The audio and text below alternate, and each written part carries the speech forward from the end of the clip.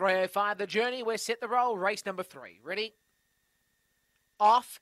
And Irish Brandy began nicely from Alpaca Patches, and now Emily Aussie rails to the inside. Tiaki Thunder moves up the fourth, and now moves up the third rather. Then came uh, Alpaca Patches and Limousine, but down the side, Emily Aussie took over. Tiaki Thunder back on the inside. Tiaki Thunder hit the lead, and Tiaki Thunder wins. Second, what's going to be tight here, Irish Brandy or Emily Aussie. Then it was Alpaca Patches, and back in the tails, Limousine.